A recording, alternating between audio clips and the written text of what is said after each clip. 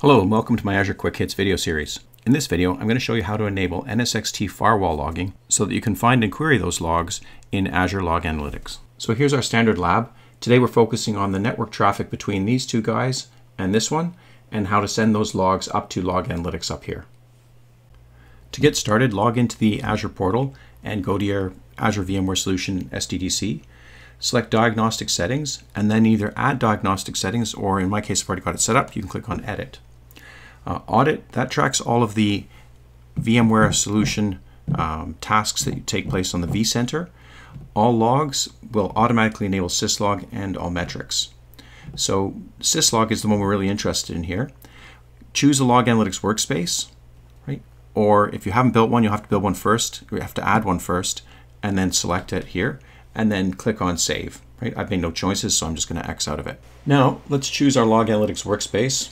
Here it is and we're going to go to logs, close this window for the moment, and do a group by resource type. It can take up to five minutes when you enable diagnostics on AVS before you see this pop up, but once you do, you're going to see the AVS private cloud, and you're going to see AVS syslog.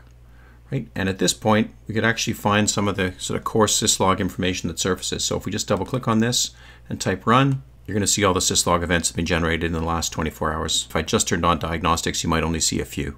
Looking back at our environment, we're going to send some traffic from the VM on VLAN 1 to the VM in VLAN 3. And the same thing for VM on VLAN 2 to VMs on VLAN 3. And then we're going to build some firewall rules and track them down in the Log Analytics workspace. Switching over to my jump box, we have the VM on VLAN 1 here and the VM on VLAN 2. And they're both going to try and reach the VM on VLAN 3. So there's actually two of them. So the first one we'll do is 10. And the same thing over here. And then we'll also make sure we can reach 11, which are the two machines on VLAN 3. And the same thing from over here. Okay, so no problem. We have full ping capability between the two. Now we're going to switch over to my jump box and log into the NSXT console. Tagging is really important when we're setting up NSXT firewall rules. So the first thing we're going to do is check we've got some tags on our virtual machines. So click on inventory, click on virtual machines. I have my two backend servers from VLAN 03 click on the three ellipses here and click on edit. And we're going to see here this one's got a, uh, a tag of backend and it's a server type. I don't believe we've got one on the other one, so let's go down to backend server 2, click on edit, and we don't, as you can see here, we don't have any tags. So we're going to call this one uh, just backend server. And it's going to fill in the server type. It picked that out of the list because we already had it defined in server 1 here. And then click on Save. Now you'll notice that when we look at these guys, each one of them has one tag. If we go down to my web servers, I'm just going to show you what the tags we set up there.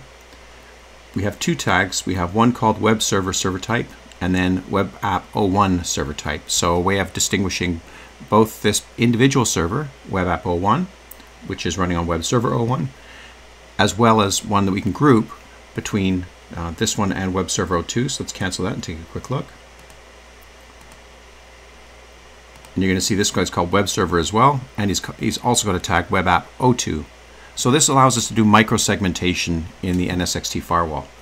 And you're going to see this is going to become really important in a few minutes. The next thing we're going to look at is groups. And so here we're going to create a new group for our new policies and rules and we're going to call that demo backend. When we click on set, so membership criteria, we go to add a criterion. We're going to be adding virtual machines. And in this case, we're going to use the tag, right? And so the tag name equals, and then you're going to see a list of different tags we had. So remember we called these one, we had a tag called backend on them. All right. And then we're going to apply that, and then we're going to click save. So now we have a group that has a criteria with the criteria matching tag backend. And you can see here, virtual machines, there are two virtual machines with that tag that show up under the view members. Now you'll notice we also have the group web servers.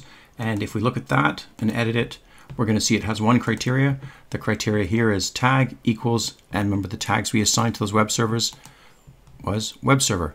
We also had two other tags that were available. One was web server 01, and that was just applied to web server 01, and web server 2, and that tag was just applied to web server 2 but this tag was applied to both. So click on apply, click on save. All right, so now we've reached the point where the magic happens. We can click on security, click on distributed firewall, and the first thing we need to do is add a policy. So we'll create a new policy and we're going to call that one demo policy. And we're going to publish it, which is effectively a save. It's not doing anything yet, it's just a policy. Now, let's edit this policy and add a rule. And so the first rule, going to call this first rule, and the sources we're going to choose, and this is where the group becomes so important, is web servers. So we're going to do web servers to backend servers. So the source is going to be web servers, apply. And the destination is going to be backend servers. Actually, I think we called it demo backend for ours, didn't we? Demo backend server, apply.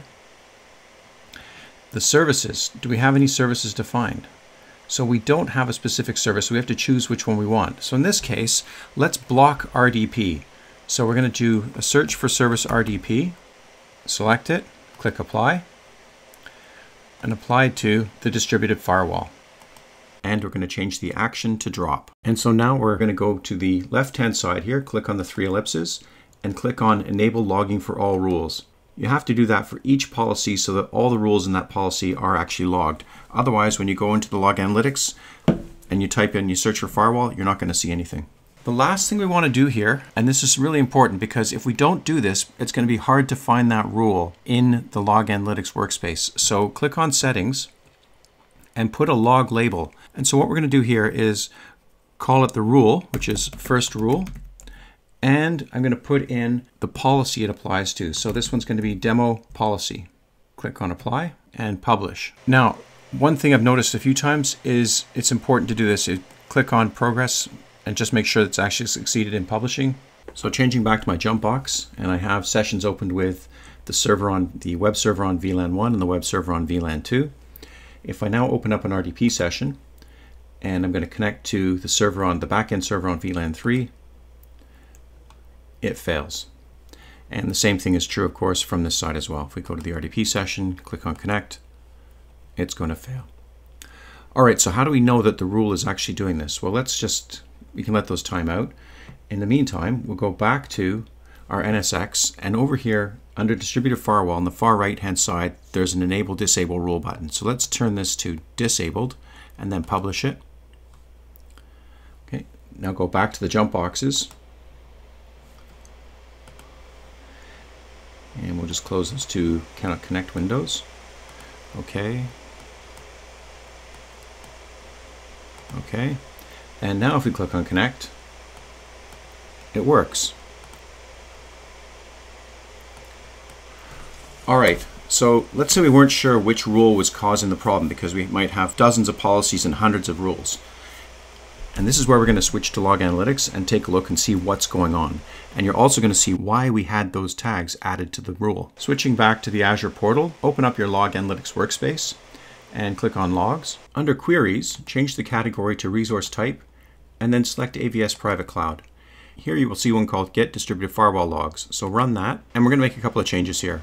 First, change the time range to last hour and then actually we're going to remove this or proc ID equals firewall because those are mostly administrative tasks. They're not firewall rule specific. So what we want is where app name equals firewall. Let's rerun that. And now let's take a look at these logs. First, let's just minimize the screen a bit so we can get more of the log on the actual screen here. And then open one up, the top one for instance.